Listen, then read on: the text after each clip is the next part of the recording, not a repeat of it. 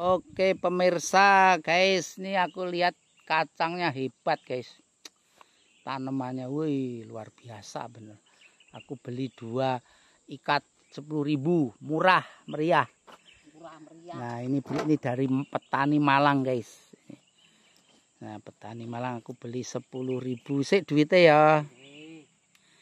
Nah ini guys beli sepuluh ribu dapat dua ikat.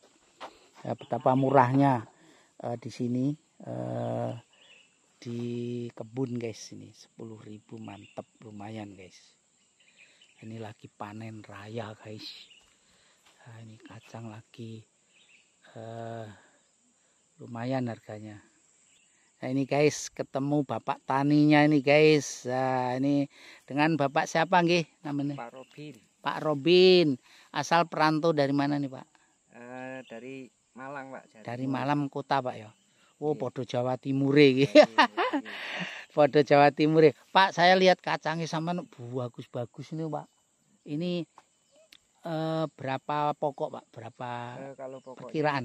Kalau pokoknya itu nggak tahu nanu tanaman dua eh dua omplos setengah satu kilo. Oh satu kiloan. Iya. Ini tanaman luar biasa nih Pak. Hijau bener ini. Pupuknya pertama apa Pak ini? Caranya nih membuat ya terutama saya itu pakai sambil pakai pupuk herbal pak. Mau oh, pakai herbal? Ya. lain pupuk kandang itu juga pak? Ya pupuk kandang pakai hmm. tapi saya campuri dengan pupuk herbal seperti pupuk dimas tani hmm pakai itu ya. Terus itu yang dasarnya pak pertama itu pupuk kandang dulu. Ya pupuk kandang sama kapur. Oh dulu mit ya pak hmm. terus nanti baru ditanam itu nggak? Iya, ya baru ditanam pak. Hmm. Ini sudah panen berapa kali ini pak?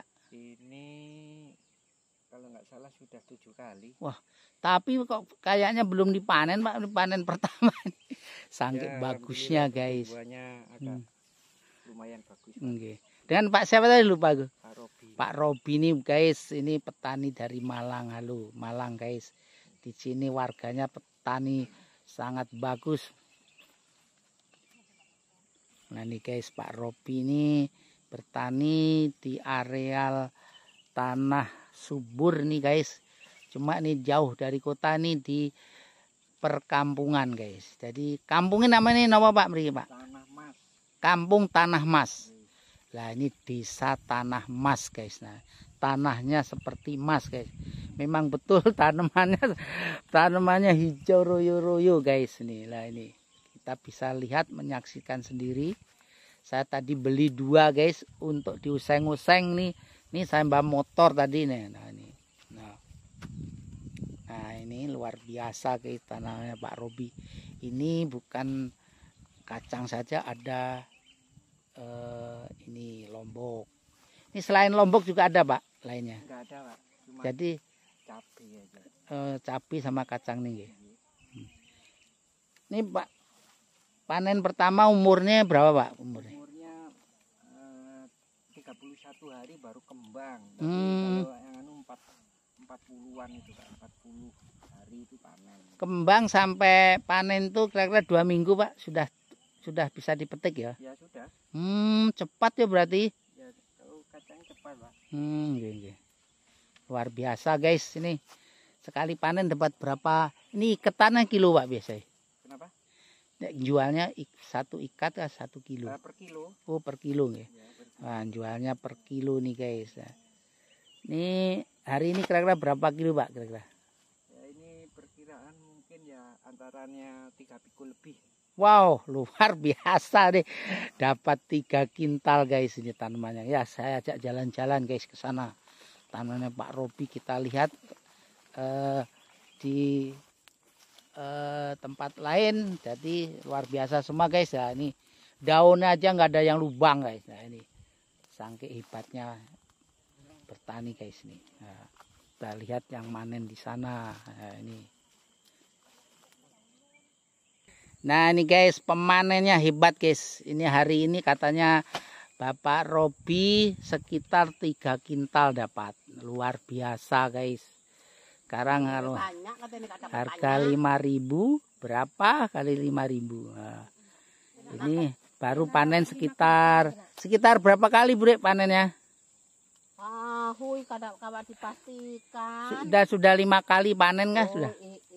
Katanya lima kali tadi. Mm, lima kali. Kalau sampai matinya kada tahu jua Jangan mati sampai setahun. Bisa. Ini guys, tanaman Pak Robi bener-bener guys. Lihat. Wow. Ini jadi ini berapa berapa hari sekali nih beli panen? Satu hari. Wih, satu hari panen. Ya, ini jangka eh setelah satu hari guys panen berarti besok nggak panen lusa panen seperti itu. Dan minimal rata-rata 3 hektar eh, 3 kuintal guys. Dengan harga sangat bagus guys pada hari ini. Eh, sebabnya sayur belum begitu banjir saya lihat di pasar stabil guys.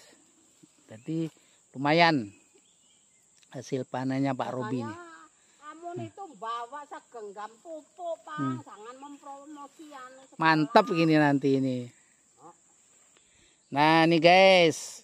Jadi selain panen kacang dua hari sekali guys. Panen lombok kini. Kalau lomboknya berapa hari sekali? Karena ini lombok ini eh, sebagai ini guys untuk eh, genapi jadi supaya dua tanamannya guys.